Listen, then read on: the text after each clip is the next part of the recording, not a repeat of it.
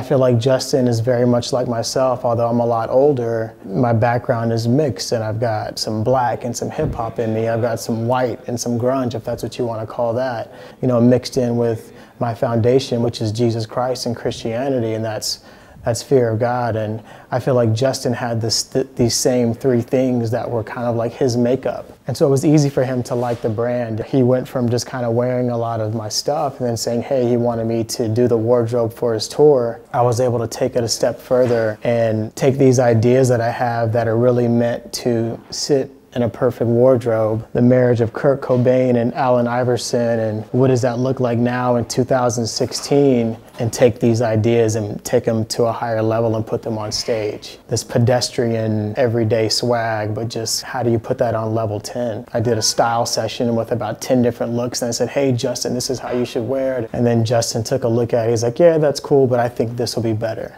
and it was better. Just as much as he was a fan of what I was doing in fashion, I've been a fan of him and what he's done from being a punk kid and kind of get going to this low place and having to build himself up. You know, I really am just as much attached to him as a person as I am to the message of purpose. The message is what's connected us and what has kind of kept us fans of each other.